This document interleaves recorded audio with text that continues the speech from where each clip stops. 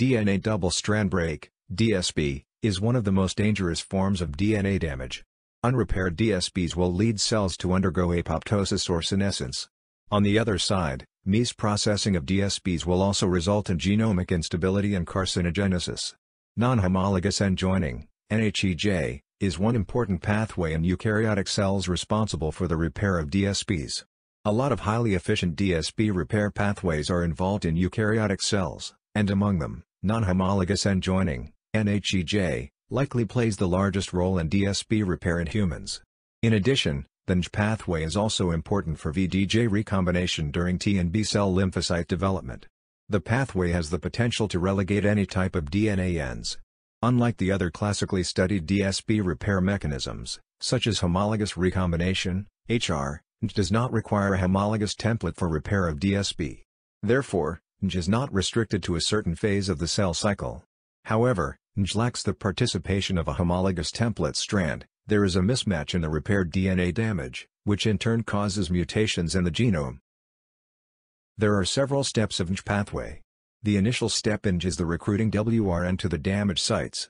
WRN is a helicase which generally unwinds and separates double-stranded DNA. These activities are necessary for double strands breaks repair. And then, the damaged site will recruit the recognition and binding of the Ku heterodimer to the DSB. The Ku heterodimer consists of Ku70 and Ku80. Ku70-80 has been shown to localize to laser-generated DSBs within seconds of their creation. There are some crystallographic studies of Ku70-80 showing that the heterodimer produces a ring-shaped structure, which can accommodate a double-strand DNA helix and allows the Ku heterodimer to slide onto the DNA damage site. Once the heterodimer is bound to the DSB ends, it then serves as a scaffold to recruit DNA PKCS to the damage site. Autophosphorylation of DNA PKCS appears to play a key role in is thought to induce a conformational change that allows end processing enzymes to access the ends of the double-strand break. After Ku70-80 and DNA PKCS bind to the DSB ends, they then serve as a scaffold to recruit the other factors to the damage site. With the help of the MRN complex consisting of NBS1, MRE11 and RAD50, the site of double-strand breaks forms a cruciform and hairpin formation. The next step, if necessary, is processing of DNA ends to create ligatable ends. Different DNA end processing enzymes are required, including those that resect DNA ends, fill in gaps, remove blocking end groups, and make the ends ligatable. In the process, FEN1, PNKP and Artemis are recruited to the DSBs likely by a KuXRCC4 scaffold.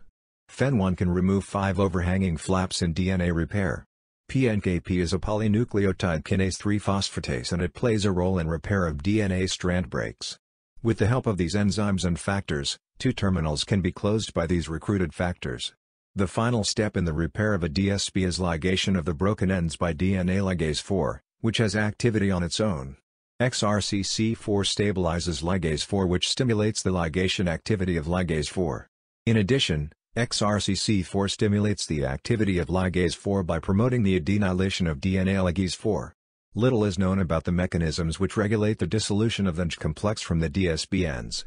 Recent research with human cells showed that E3 ubiquitin ligase RNF8 may mediate the dissociation of Ku from DNA ends.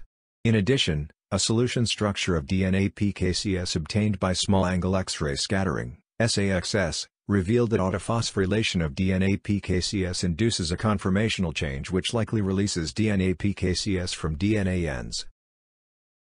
In addition, repair also exists a pathway. Firstly, double-strands break site can activate ATM pathway, and the pathway will activate MRN complex in PARP1. MRN complex will further enhance the conventional repair. Activated PARP1 will be recruited to the double-strand break site. With the help of XRCC1 and DNA ligase 3, the break site is repaired. That's all. Thank you. If you want to learn more, please load our website, www.creativediagnostics.com.